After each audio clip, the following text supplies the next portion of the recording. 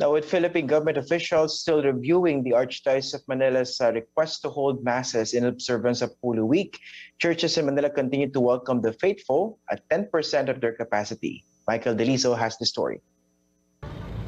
Filipinos who want to join mass celebrations inside the Capo Church have to patiently wait before they can enter and follow strict health measures. In the afternoon mass Thursday, at least 100 churchgoers physically attended or equivalent to the 10% capacity of the church. Those unable to physically enter the mass can no longer listen to the mass outside the church because loudspeakers and big screens have been turned off.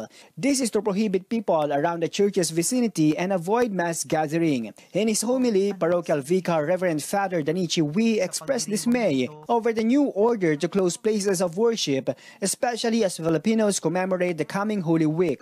Parang umulit na naman nung isang taon na hindi tayo makapagdidiwang ng mahal na araw katulad ng dati. Pero tinatanggap natin ito.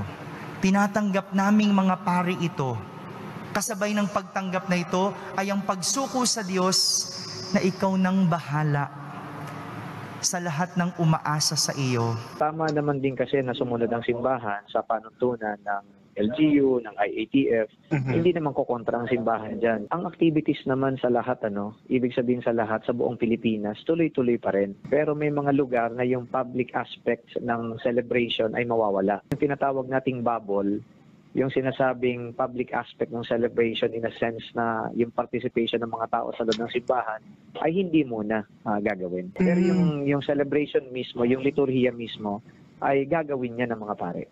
Justice Secretary Minardo Guevara, who is assigned to coordinate with the religious group, said the Catholic Bishops' Conference of the Philippines, or CBCP, has already expressed full understanding of the current health situation. He adds the Interagency Task Force on Emerging Infectious Diseases, or IATF, will still, however, discuss CBCP's request to allow the celebrations of Mass at 10% capacity for the Holy Week. The group also encourages the public to still observe the Holy Week at home as churches will still continue to air their services online.